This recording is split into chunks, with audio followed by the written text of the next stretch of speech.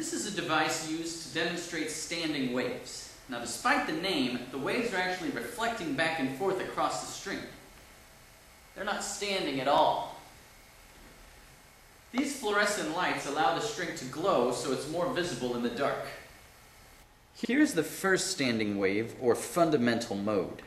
Notice that half of a wavelength is visible, or another way to say it is twice of the rope's length is one wavelength. The second harmonic has a node in the middle, a place of zero movement, and two antinodes, places of large movement. A full wavelength is represented. Now these antinodes are of such large movement that if you touched one, you would mess up the whole wave. This is the third harmonic. You'll notice there are now three antinodes, of course, and two nodes. You'll also notice that the wavelength is two-thirds of the total length. That's this is one full wavelength.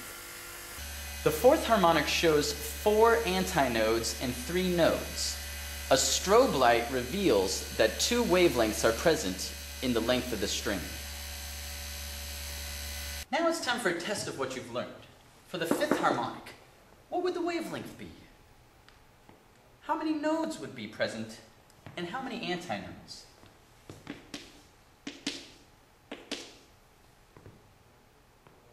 Here we are, the fifth harmonic. One, two, three, four, five antinodes.